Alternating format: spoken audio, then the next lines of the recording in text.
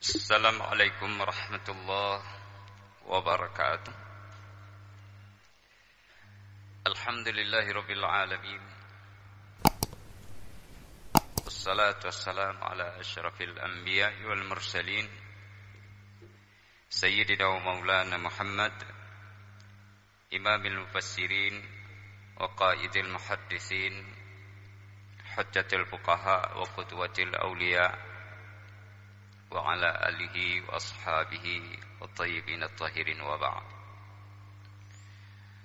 Puji syukur pada Allah Subhanahu wa taala. Selawat dan salam kepada junjungan alam Nabi besar Muhammad sallallahu alaihi wasallam kepada al dan sahabat sekalian kepada para ulama baik yang mutaqaddimin maupun yang mutaakhirin Semoga dengan kita berselawat kepada Nabi sallallahu alaihi wasallam kita akan memperoleh kebajikan-kebajikan terutama sekali syafaat yang diberikan oleh Nabi kita sallallahu alaihi wasallam kelak di hari kemudian. Amin ya rabbal alamin. Sidang jamaah rahimakumullah kita masih berada pada seputaran kisah-kisah Al-Quran. Pada pertemuan yang lalu Beberapa kisah sudah kita sebutkan. Pada surat Al-Kahfi Di ayat yang ke 80 Allah subhanahu wa ta'ala berfirman atas lisannya hambanya yang dipilih dan diajarkan ilmu kepadanya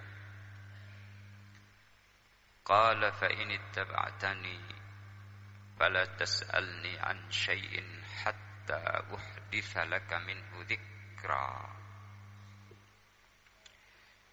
Kalau pada ayat 60 Berkata Nabiullah Musa kepada kepada muridnya Wa qala Musa li fatahu la abrah hatta ablugha majma'al bahraini aw amtiya hukuba. Jadi kisah di dalam Al-Qur'an surat Al-Kahfi ayat 60 dan seterusnya ini tapi kita tidak mungkin menceritakan keseluruhan kisah hanya mengambil salah satu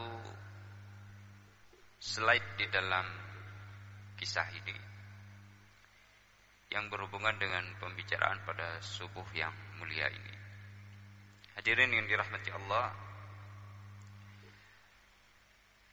Nabi Allah Musa alaihissalam diminta oleh Allah untuk bertemu dengan salah satu hambanya untuk mempelajari hikmah dan kearifan. Hamba ini menurut sebahagian besar para ahli tafsir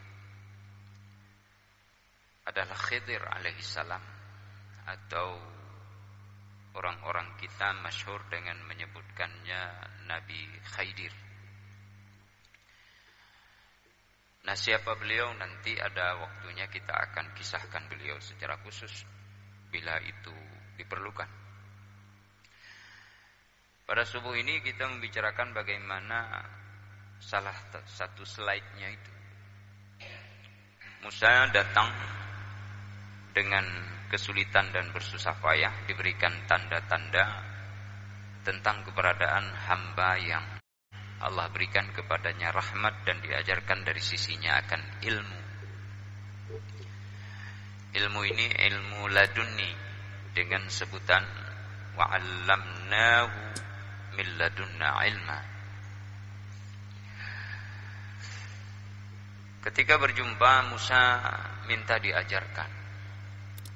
Tapi hamba Allah ini kita tidak sebut dulu Khidir meskipun itu benar karena berada di dalam hadis-hadis Rasulullah wasallam. Tapi ada waktunya kita akan sampaikan nanti. Berkata hamba Allah ini sesungguhnya engkau tidak akan mampu untuk ikut bersamaku dalam suasana sebagai seorang murid terhadap gurunya. Karena kes demi kes yang mungkin akan terjadi kasus demi kasus ini berat. Berat untuk dicerna oleh logika, berat untuk diresapi oleh perasaan dan terkadang ini menyalahi kebiasaan-kebiasaan yang dipahami dengan pikiran dan akal sehat manusia. Nah, makanya Khidir alaihissalam menyatakan innaka lan tastati'a ma'iya sabra. Sesungguhnya engkau tidak akan sanggup untuk bisa berada bersamaku.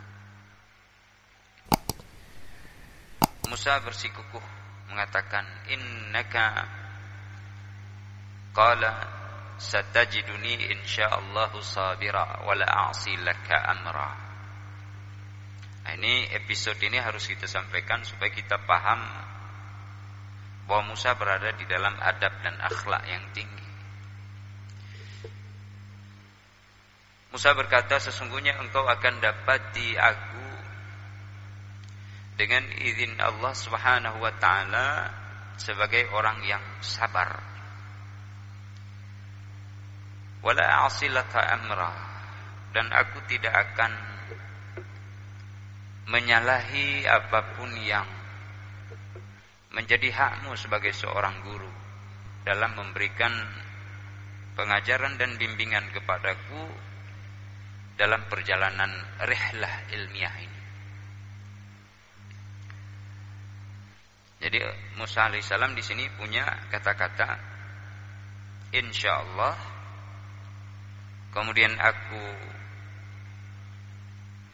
tunduk dan patuh apa yang dikatakan oleh guru nantinya.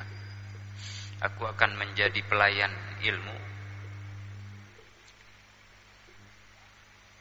Tapi kembali ditegur oleh Khidir alaihi salam, oleh hamba Allah ini. Singkat cerita, fa ini taba'tani jika kamu mengikuti diriku, fala tas'alni an syai'in. Jangan bertanya tentang sesuatu apa pun hatta uhditha laka minhu sampai pada batasnya nanti saya akan sampaikan kepada engkau apa maksud di balik kes demi kes episode demi episode yang kita lalui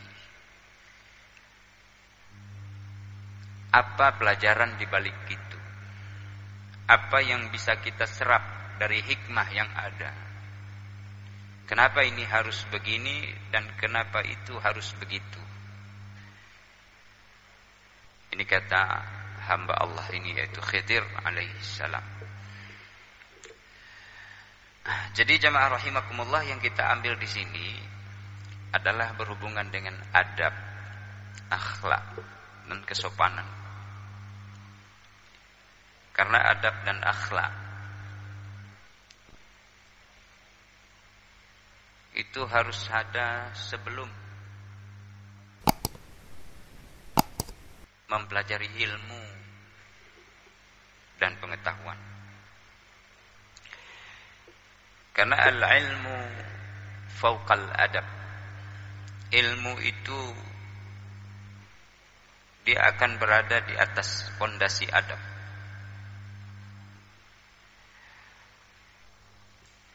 Wal ilmu qablal amal. Sementara ilmu menjadi pondasi amal. Seseorang tidak akan diterima amalnya kalau tidak berprinsip kepada ilmu. Dan ilmu tidak akan memberikan manfaat sama sekali kalau tidak ada filosofi adab dan akhlak serta kesopanan dalam ilmu itu. Ah ini yang hendak kita ambil dari ayat ini.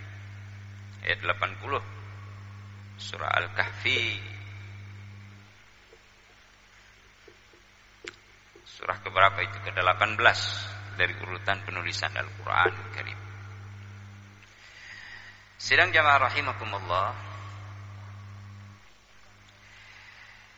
Imam Malik radhiyallahu anhu atau rahimahullah semoga Allah memberikan rahmat kepadanya. Mengajarkan murid-muridnya selama 30 tahun. Dan 20 tahun di antaranya yang diberikan adalah pelajaran adab 10 tahun baru pengetahuan ini yang diajarkan oleh Imam Malik Malik bin Anas Imam Darul Hijrah Beliau mendapatkan ini dari ibundanya. Ketika saya masih kecil kata Imam Malik, ibuku melilitkan sorban di bagian kepalaku. Lalu dia membisikkan ke telingaku, berangkatlah engkau menjumpai Imam Rabi'ah. Engkau pelajari adabnya sebelum engkau mempelajari keilmuannya yang diajarkan yang diminta untuk diselami adabnya. Bukan ilmunya. Ini Imam Malik. Disuruh oleh maknya setelah dipakaiankan dengan pakaian yang rapi pakaian yang melambangkan dari semenjak awal sudah diajarkan adab ayo berangkat sambilan diikat dibisikkan pelajarilah engkau adabnya Imam Rabi'ah sebelum engkau mengetahui keilmuannya paling penting. Hadirin yang dirahmati Allah Subhanahu wa taala para pendengar. Sebelumnya ada Abu Hanifah. Nu'man bin Thabit. Beliau mengatakan, aku pelajari tentang kehidupan kisah para ulama wa mujallasatihim ahabbu ilayya min qiraati abwabil fiqh atau kama ruya Aku mempelajari kisah-kisah para ulama atau duduk bersama mereka dalam majelis-majelis mereka itu lebih aku sukai dibandingkan Aku membaca berbab-bab tentang fikih. Kenapa demikian? Karena alasannya mempelajari kisah-kisah mereka itu akan memberikan kepada kita pengetahuan yang berbekas dalam jiwa kita. Bagaimana kewaraan, bagaimana kesabaran, bagaimana kehalusan tindakan mereka. Nah, sehingga adab ini memberikan manfaat yang besar dari ilmu itu sendiri. Sini ada Ustaz Jamhuri kita, beliau ada majelis zikir. Nah, ini juga bahagian daripada mengajarkan kepada masyarakat akan adab adab dengan Allah adab dengan manusia adab yang bisa digali dalam ibadah dan dipraktekkan dalam kehidupan nanti oleh karenanya ada ikatan yang cukup erat antara akidah ibadah dengan adab atau akhlak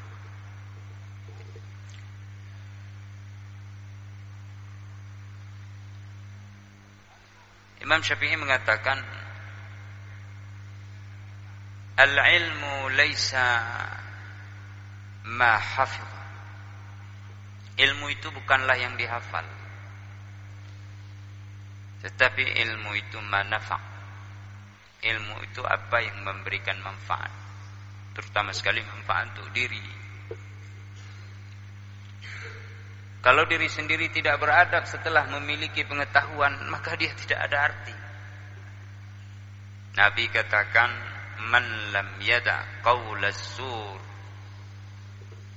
wal amal bihi, lillahi fihi haja an yada'a ta'amahu wa syarabah."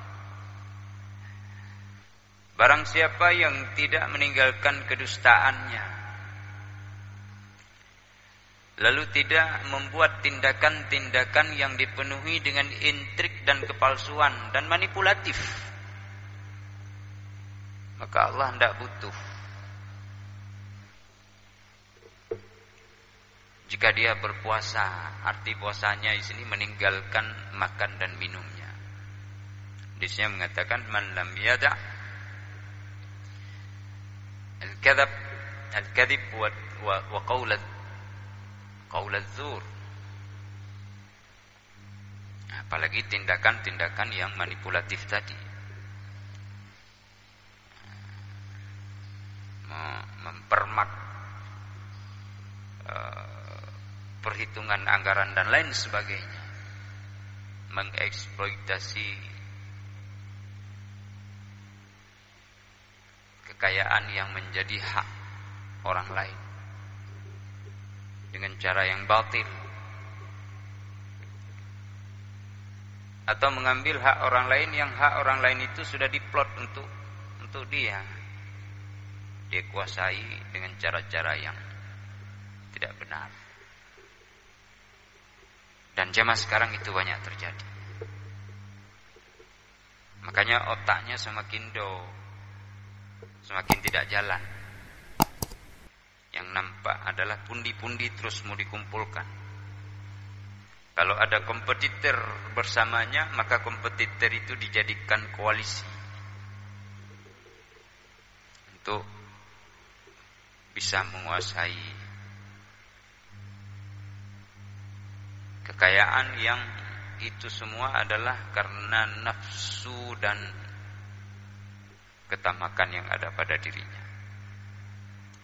Sidang jamaah rahimakumullah Al-hajjul mabrur laisa lahu jazaun ilal jannah Haji yang baik Ini al-mabrur.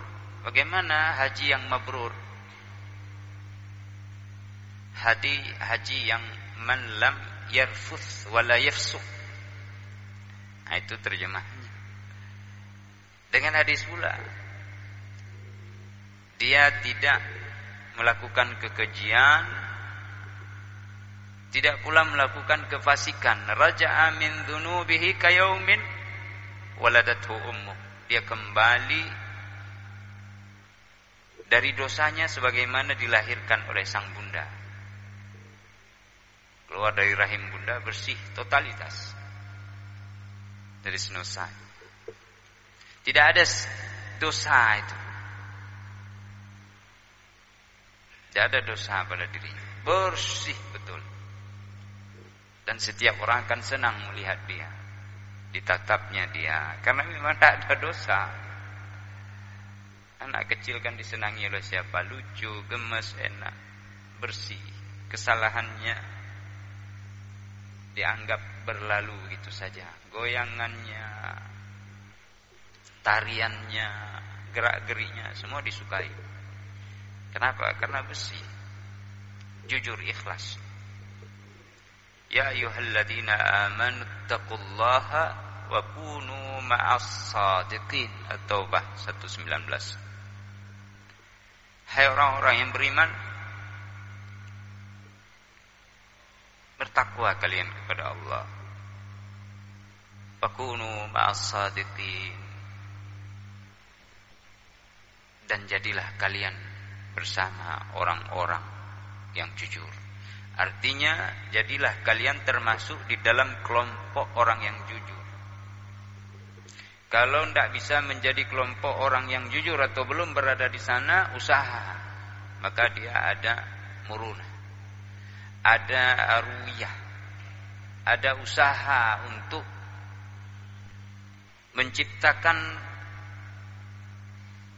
prakondisi sehingga menjadi sebuah pasca kondisi yang tidak dipaksakan. Ini sebagaimana kata Ibnu Maskawi.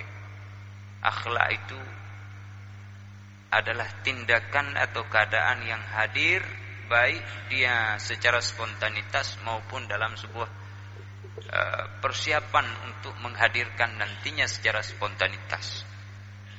Ini Abu Ali Ahmad bin Muhammad bin Ya'qub wafat 421 412 Hijriah.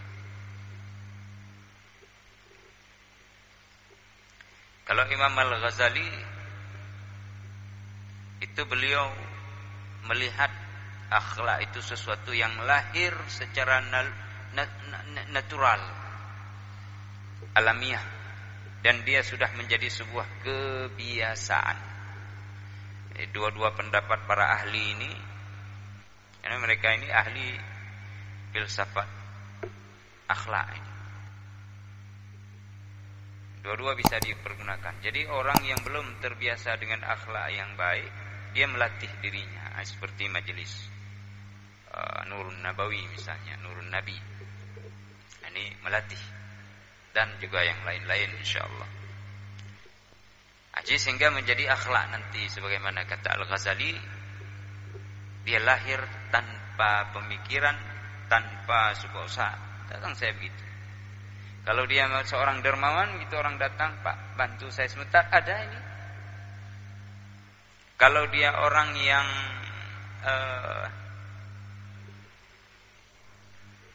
orang yang apa bilang, orang yang lembut maka dia akan dengan sendirinya muncul kebajikan-kebajikan. Ada orang susah, dia cepat sedih.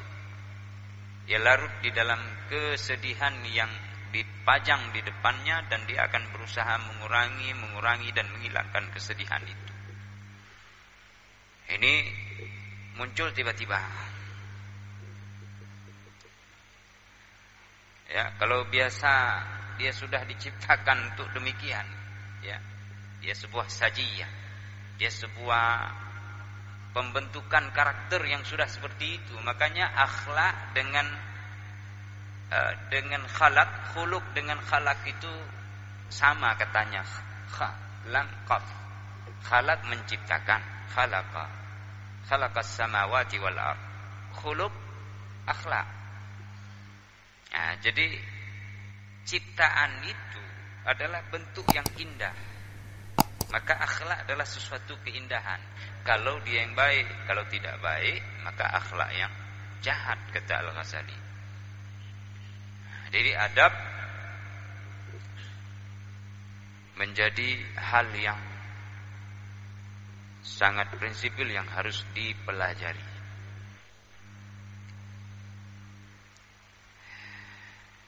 Al-ma'ruf apa itu? Ya Rasulullah. Orang bertanya kepada Rasulullah, apa yang ma'ruf itu? Apa jawab Rasulullah? Antalqa akhaka biwajhin taliq. Engkau jumpai saudara kamu, wajah kamu itu bersinar-sinar, berseri-seri. Maksudnya apa? Senyummu, lapangnya dadamu. Engkau terima dia. Bukan teman dari jauh sudah datang, kita pura-pura berkerut. Susah wit susah lebihnya. Udah tahu dia datang mau mau mengadu tentang perihal keuangan atau masalah yang dia hadapi. Jumpai saudaramu biwajhin dengan bahasa bahasa tubuh yang baik bahasa tubuh yang ikhlas bahasa tubuh yang menarik. Sehingga dia tidak merasa canggung di depan kita lalu merasa malu dirinya sendiri untuk menyampaikan hajatnya karena terasa asing kok teman kemarin seiring bahu sayun langkah hari ini ketika aku dalam kesulitan mengungkap kesulitan itu saja sudah dipilih kata-kata agar tidak mencederai perasaannya tapi juga tidak bisa karena dia melihat orang asing di depan dirinya. Maka Rasulullah sampaikan Tabassumuka fi wajhi akhika sadaqah. Engkau tersenyum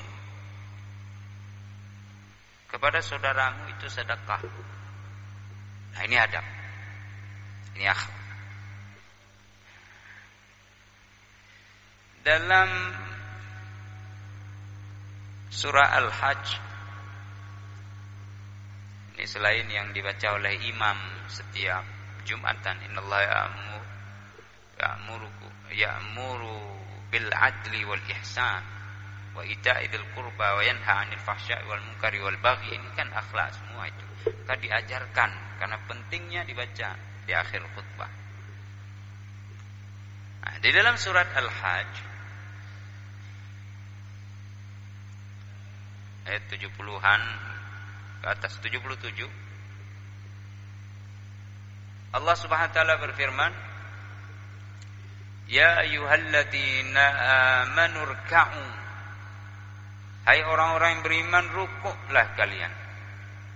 Rukuk untuk siapa? Untuk Allah. Wasjudu. Sujud untuk siapa? Untuk Allah. Wa'budu rabbakum dan sembahlah oleh kalian Tuhan kalian pencipta, penjaga, pengatur yang memberi ke, ke, semua kebutuhan-kebutuhan kalian, menjaga keseimbangan kalian, nanti dikembalikan kalian, dibangkitkan lagi, diberi lagi balasan. Jadi engkau sembahlah Tuhan kalian. Irka'u wasjudu wa'budu rabbakum Lihat yang keempat. Waf'alul khaira la'allakum tuflihun. Lakukan kebajikan-kebajikan. Maka kalian moga-moga beruntung. Waf'alul khaira hubungannya dengan dengan masyarakat dan lingkungan. La yuslimu ahadun atau rajulun hatta yaslima tidak berislam seseorang sehingga dia betul-betul selamat. Apanya yang selamat? Selamat akan lisannya. Dia bicara bicara benar.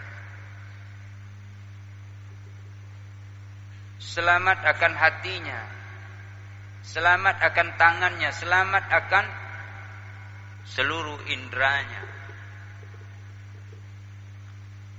Jadi kalau beriman eh, ber, ber, masuknya orang ke dalam agama Islam itu dengan memiliki adab. Kalau sudah beradab, sudah berakhlak, seluruh uh, apa namanya intuisi maupun indera yang dia miliki sudah selamat dari keburukan dan kekejian maka itulah dia Islam. Jadi inti Islam seperti itu kata Rasulullah. Wala yu'minu dan tidak beriman. Siapa tidak beriman? Rajul tadi yang di belakang. Hatta ya mana sehingga merasa amanlah jaruhu bawa'iqahu tetangganya merasa aman dari keburukan-keburukan dia. Manusia ada keburukannya. Nah, tapi adab dia dia tahan keburukan itu sehingga tidak nampak dilihat orang dan orang merasa nyaman berada di selama dia. Tapi kalau seperti tadi ada jatah orang lain disikat sama dia? Atau ada pemberian dari orang lain untuk sesuatu tujuan? Lalu orang lain dimanfaatkan tenaganya lalu tidak diberikan haknya? Nah, ini keburukan. Dan itu sering terjadi dalam masyarakat. Seandainya dibuka oleh Allah. Kapan dibukanya? Boleh jadi sebagian kecil di dunia, boleh jadi uh, sebagian besar dari kejahatan seseorang. Yang pasti nanti dibuka hari kiamat. Baru kita heran. Oh patutlah rojih kamu gasin mentaboh dunia. Bahkan karena kecoi. Kita di dieksploitasi pikiran dan tenaga kita tanpa diberikan hak yang penuh.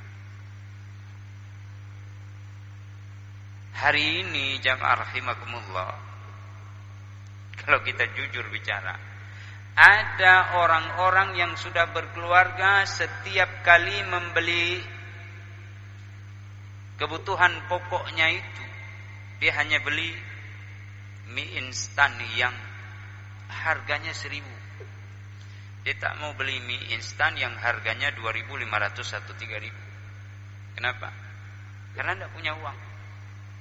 Satu mie instan yang harga seribu satu butir telur dia datang dengan tergopoh-gopoh lalu pulang kembali dia aduknya itu lalu makan dengan nasi putih. Dan itu berkali-kali di beberapa tempat dan tidak sedikit keluarga yang membeli gula hanya seperempat mungkin sebagian kita bisa beli sekali beli 4 kilo tidak sanggup makan gula pasir, makan gula ja, jagung. Satu kotak 90 ribu, 120 ribu menurut ukuran gramnya. Oh itu sudahlah karena dia sakit saran spesialis dokter memang demikian. Maksudnya yang hendak kita sampaikan ketika kita mudah melakukan sesuatu, memperoleh sesuatu, ada masyarakat yang begitu banyak dia berada di dalam kesulitan. Kenapa bisa demikian? Karena ada ketidakseimbangan. Kenapa tidak seimbang? Karena orang nggak beradab. Karena ilmunya tidak dibentuk di atas dasar adab. Dengan gagahnya dia merasa sudah berilmu, lalu menjadi penjajah di atas bumi Allah. Imam Syafi'i mengatakan, Al-ilmu laisa ma hafidha wal ilmu ma nafa ilmu itu bukan yang dihafal tapi ilmu itu yang memberikan manfaat maka karenanya orang yang tidak memiliki adab dia tidak memiliki salah satu bahagian dari ihsan karena adab adalah bahagian dari ihsan yang tiga disampaikan Jibril kepada Rasulullah. Al-iman, al-islam, al-ihsan. Kalau dia tidak peroleh itu, dia tidak akan mampu menyelam hakikat daripada kedua hal tadi, iman dan Islam. Oleh karenanya Allah utus Musa alaihissalam, ayo berangkat engkau telah salah memberikan reaksi terhadap pertanyaan kaummu. Ketika kaumnya bertanya, ada enggak orang yang lebih pintar dari anda di ini? Tidak ada, kata Musa. Musa maksudnya untuk membuat perhatian kaumnya khusus karena dia utusan Allah. Tidak ada. Tapi Allah mengatakan, kenapa tidak kau? Allahu a'lam. Ini Adam. Ah, coba pergi ada Musa di sana. Kau belajar. Berangkat maka Khidir alaihissalam mengatakan, "Qala innaka lan tastati'a ma'iya sabra." وكيف تصبر على ما لم تحط به خبرا قال ستجدني إن شاء الله صابرا ولا أعصي لك أمرا. قال فإن اتبعتني فلا تسألني عن شيء حتى أحدث لك منه ذكرا. فانطلق حتى وحتى وحتى وحتى. Ada beberapa kisah sampai mereka kemudian berpisah. Tapi Musa telah mendapatkan pelajaran yang cukup agung dan besar dalam rihlah ilmiah rihlah adabiyah ini Ini saja sebagai inspirasi dari kisah Al-Quran. InsyaAllah kita lanjutkan pada pertemuan yang akan datang. Billahi taufiq wal hidayah. Subhanakallahumma bihamdika asyhadu an la ilaha illa anta astaghfiruka wa atubu ilaik. Wassalamualaikum warahmatullahi wabarakatuh.